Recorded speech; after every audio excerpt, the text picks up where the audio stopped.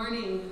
Good morning. And welcome to Eden Presbyterian Church, and we welcome those who are watching via live stream this morning on November 14th, 2021. Can you believe it?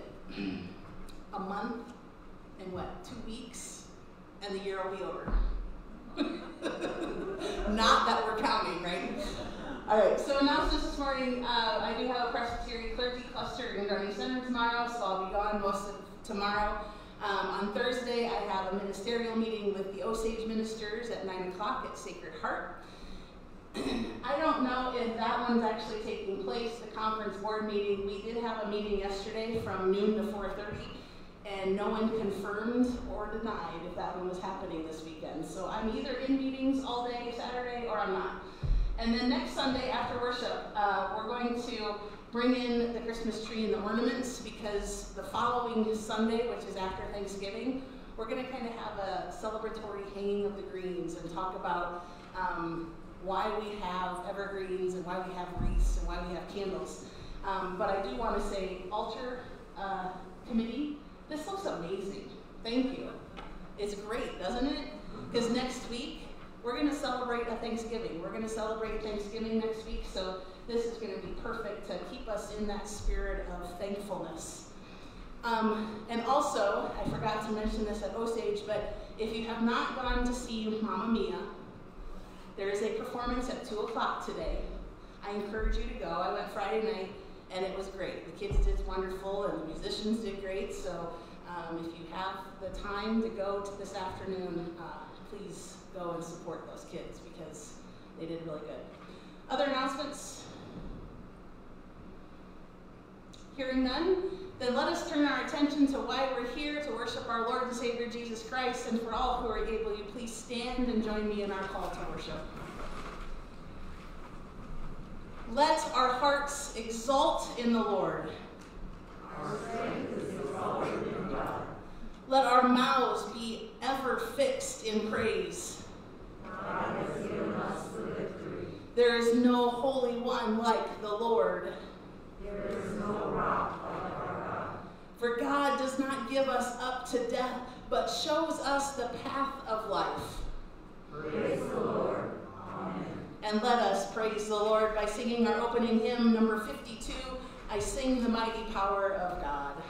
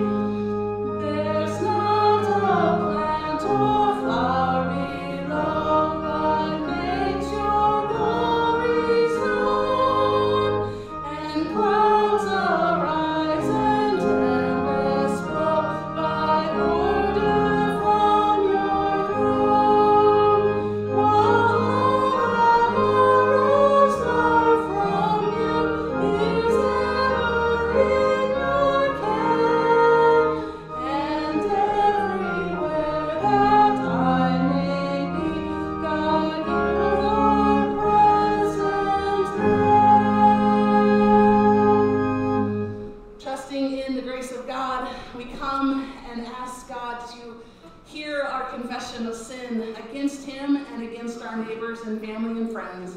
And so together we pray, Oh God, who is faithful and just, we have failed to help those who have little while we have much. We are boastful and haughty and fail to appreciate the gifts. Do we have a different one? Okay, let's start over and I'll read it off the screen. Oh God, who is faithful and just, we have failed to help those who have little while we have much. Forgive us, Lord, for we are quick to forget that all of life is in your hands. Renew our hope, increase our courage, and keep us watchful for the signs of your just and peaceful reign that is to come through Jesus Christ our Lord. Amen. Jesus Christ, who gave himself once and for all, forgives and saves. Therefore, be reconciled to one another, be holding fast to the confession of our hope through Jesus Christ our Lord, who forgives us always. Amen.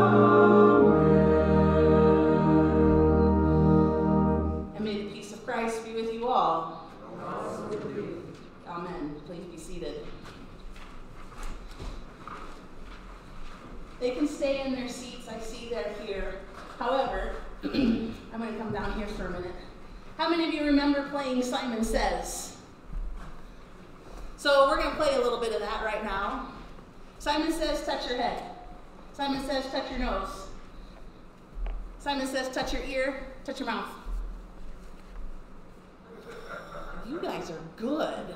Simon said, you can take your hands down. Okay, so today we're going to learn about false teachers. How many of you have ever been told a lie? How many of you have followed that lie all the way to the end and thought, well, that was wrong? So, how do we convince ourselves lesson for the kids to understand, but you might get this. How do you know when somebody is lying? They don't look you straight in the eye. They don't look you straight in the eye. Oh boy. oh, they giggle at the end. That is a good way to know that somebody's lying. Now, just because I don't look at you in the eye when I preach does not mean that I'm lying. Just, I'm going to clarify that. uh, what? Because you don't do it? But what if they did do it? That's then it's not a lie. Good. You guys are good. Um, so today, Jesus is teaching us to figure out who is telling us the truth and who is telling us false things. And so we, as disciples, need to understand what it means when a friend, maybe in school, tells you something and either, either you believe it or you might ask somebody else, is that true or not? Do you do that with your friends in school? No? Oh, you're homeschooled. So you don't question your mom, do you? No, that's probably good. Do you question grandpa and grandma? No? You might want to watch the one on your right over there. I'm only kidding. Anyway, so that's our lesson today. I want you to think about that as we go into our scripture lesson, which is from the Gospel of Mark, chapter 13, verses 1 to 8. And it's talking about how the temple walls are going to be destroyed. And Jesus tells this, and um, the disciples are curious. So, as Jesus came out of the temple, one of his disciples said to him, Look, teacher, what large stones and what large buildings. Then Jesus asked him, Do you see these great buildings? Not one stone will be left here upon another, all will be thrown down. So when he was sitting on the Mount of Olives opposite the temple, Peter, James, John, and Andrew asked him privately, Tell us, when will this be? And what will be the sign that all these things are about to be accomplished? And then Jesus began to say to them, Beware that no one leads you astray.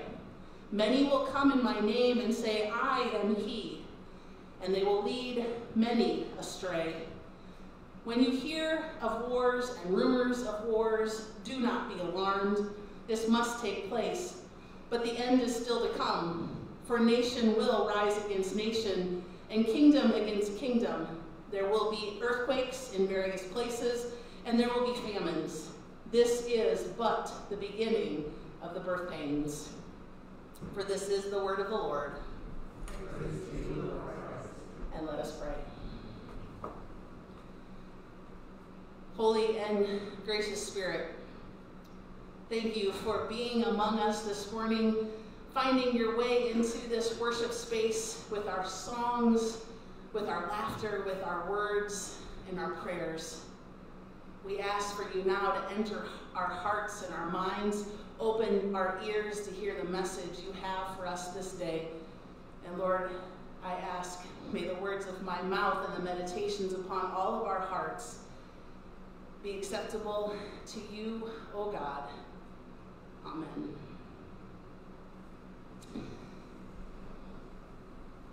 My sinuses are acting up, so you have to excuse me here for a minute.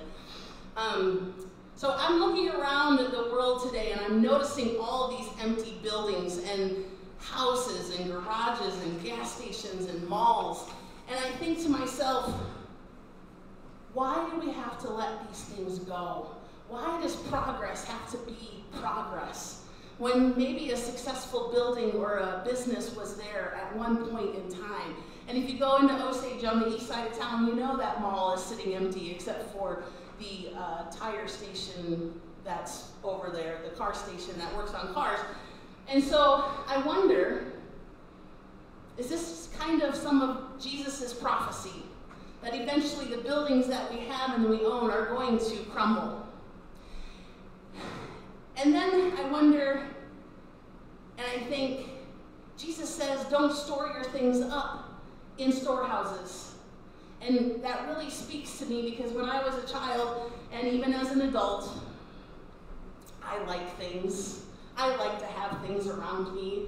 And I saved every piece of art and paper that I did in kindergarten all the way through whatever it was, probably sixth, seventh grade. And then one night, I'm laying in bed and all of a sudden, all of us in the house heard, and I'm like, what was that? And mom and dad come running up the stairs and they're like, what happened? They thought one of us fell out of bed. There, there's three of us. We're all upstairs. I said, no, I think we're all okay. They opened, and it was like next to my head. They opened my closet door, and all of a sudden they saw my ceiling in the closet had fallen to the ground. Now, our farmhouse was an old farmhouse, as you can imagine, no air conditioning. Wind could get through every crick and cranny of the windows. And with the adjustment and time that it had sat in that spot, the ceiling of my closet had fallen. It was a plaster ceiling with that old silvery insulation, and as I look back on it, thank God it happened because I would probably still have all of my papers from kindergarten, first, second, third grade. Because they're sentimental, it meant something. And then I think, God says, don't keep that stuff. That stuff really does not mean anything, Dixie. And I think, well, but God, it's so nice to have that stuff. It makes me feel good. And yet, what do we do with it? It sits in a corner, it sits in a box, and it's just there. scripture tells us God will take care of us. God is there every moment. And that's where this scripture of Mark comes into play for us today because it really reminds me, and maybe you as well, how much stuff we have, and at one point in our life, it's going to be gone. And then what are we going to have? What are we going to do? It's going to probably force us to really know what it means to live by faith, to really be happy with who we are and how we live in our day to day life. So Jesus takes this combination of the destruction of the temple with false prophets because we know there are false prophets out there. We've probably heard some of them at some point in our life. We've probably met some of them in our life. And some have come and gone. Some are still with us today. And then I think about the advertisements. I'm not saying they're false, but they're really good at selling their product. And whatever it is they're selling, we're captured. And that's probably the best description I have as a false prophet is where we're captured so much by what they're trying to sell, we want to follow it. And then one day, a few years ago, I was driving along a road in Missouri and I saw a billboard. Now, don't hurt me on this one, but there was a billboard out there that had one of our presidents on it, and it says, Unto us a son is given, and the government shall be upon his shoulders. I think if Jesus would say that and see that, and he'd be like, What? That doesn't, that's not how scripture's to be used. Who is putting that on a billboard for us to think about our governmental people in the White House as the son given to us? Jesus should be angry, just like he was with the Romans back when he was around. He was angry with what was going on. And that's where we have to believe and understand where our faith is. Is it with something like that in bright lights on a billboard? Or is it the humbleness that we have right here, right now, today? Because Jesus knows that when we buy into something like that, that our world is desperate. And we are desperate.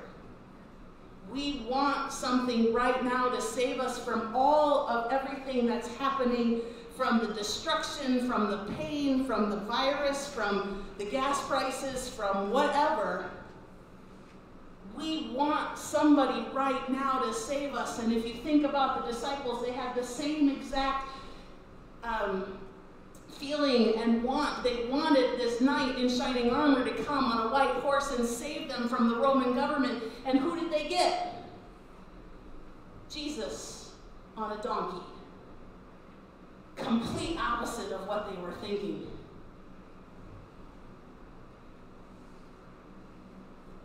And that's why Jesus tells them whatever you see in awe is not all it because when the disciples were in awe of that temple, he wanted them to be sure that they understood that it was not going to be left like that.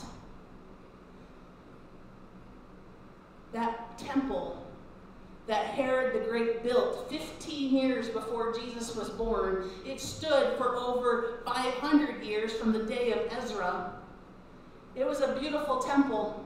It was an eye catcher but it wasn't built in honor of God.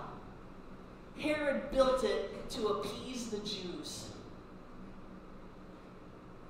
And in 70 AD, the Romans came and destroyed that temple and destroyed that city of Jerusalem.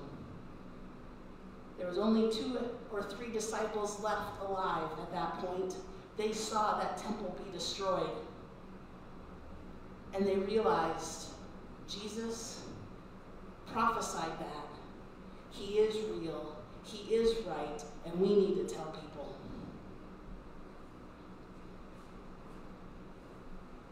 That's where we get here today. That's where we have that faith and that energy of joy, where we can continue to spread the message without the walls. I'm not saying one day soon that this building is going to crumble, but someday it will. Maybe not in our lifetime, which I hope it's not in my lifetime. But that's why Jesus gave us this message to say, you don't need the walls. I preached on lakes and I preached on hillsides. You just go and spread that message of love to everyone. Learn to live today, not yesterday, not tomorrow. Focus on what you have today because He made these predictions so that we can be spiritually alive and alert. He wants us to live and preach that gospel message. He doesn't want us to be afraid or give in to those false prophets that are among us.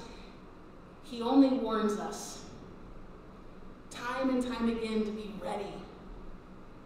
And he warns us to not follow those who say they are Christ. We know that truth. We understand that truth. And we know that that one day when Jesus comes, we should be able to recognize him. I believe that. He may not come in the form that we have envisioned.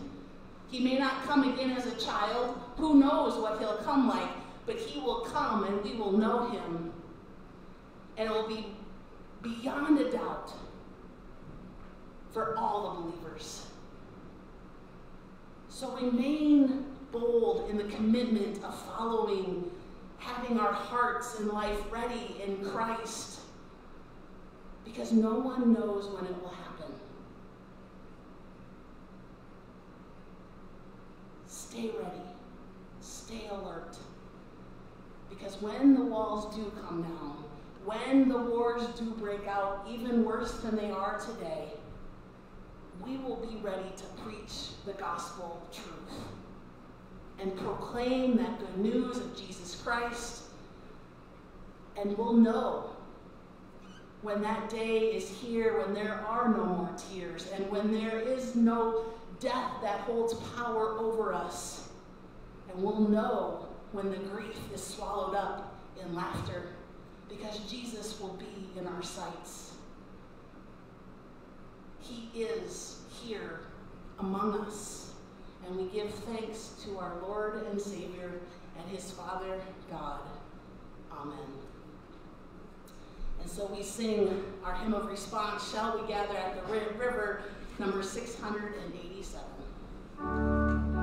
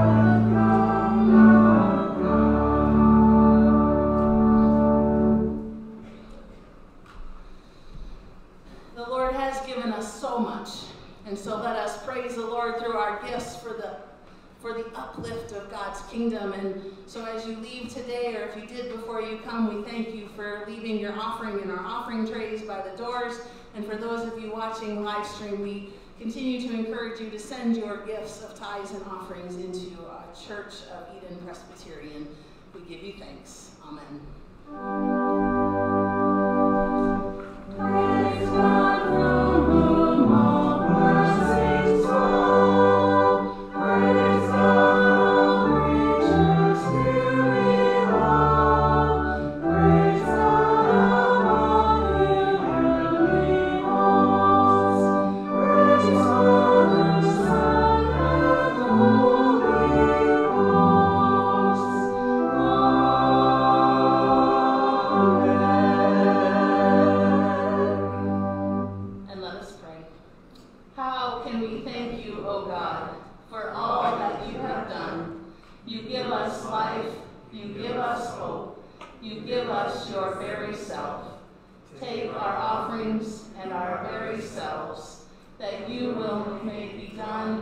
church, in our community, and throughout your world. In Jesus' name we pray. Amen. You may be seated. This morning we lift up Leo Shupanis and Irene. Um, if you didn't receive my email on Thursday, Wednesday or Thursday, um, Leo or Irene called me to tell me that Leo has COVID nursing home quite a bit. Um, there's a pretty big outbreak. Uh, she's been going every day to see Leo, and one day she walked up to the door and they said, sorry, you can't come in. Um, at this point, as of Thursday or Wednesday or Thursday, um, she said it was a very mild case. She doesn't even know if she got or if he got treat or tested correctly because Leo fights that. Um, so just keep them in our prayers. And then we keep Bill in our prayers this morning and, um, and others, are there others to be lifted up in prayer?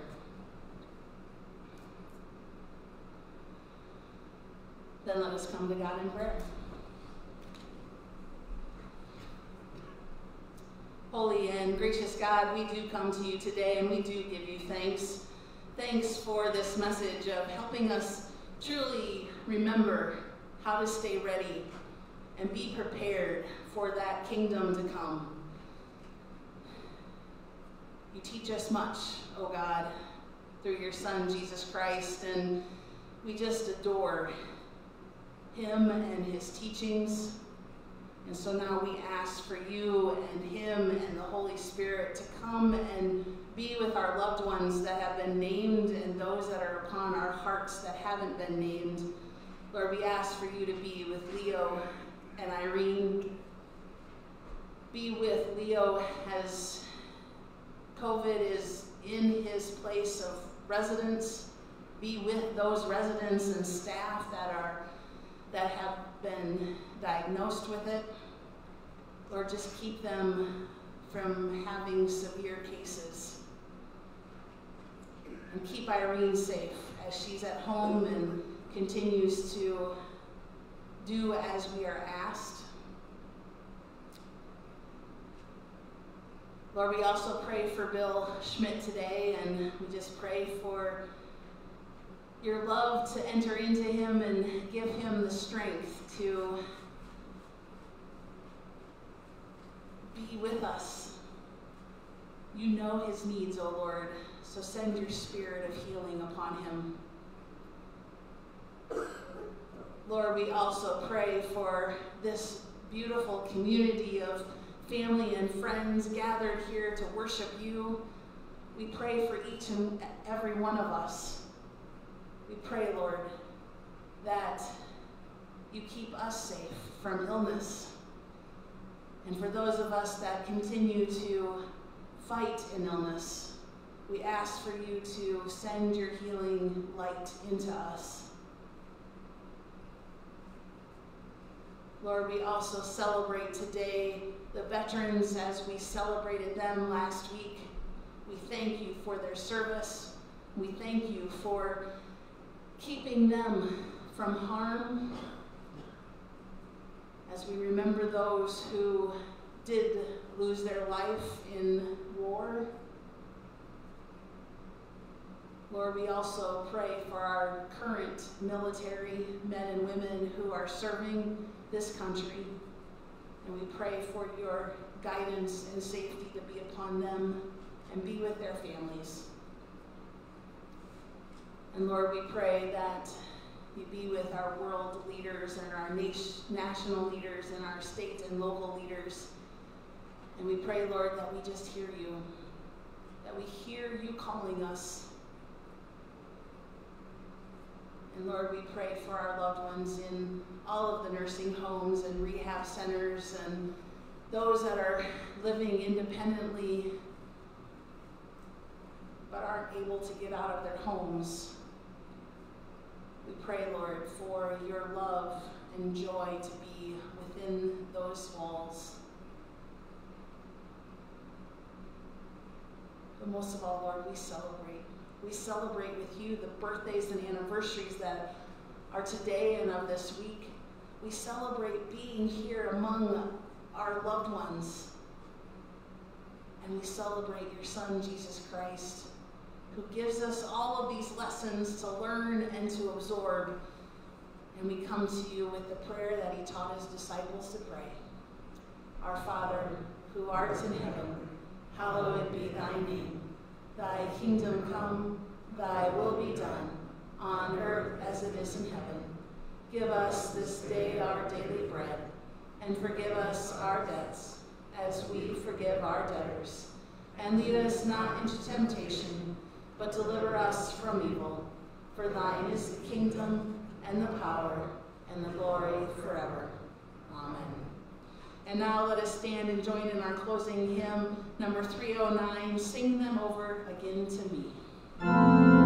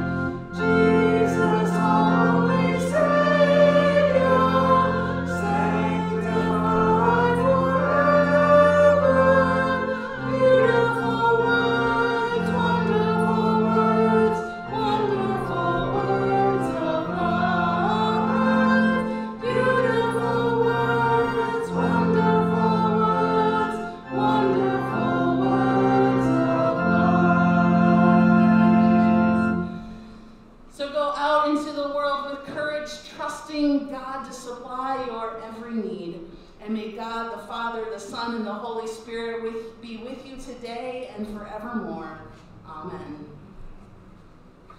Amen.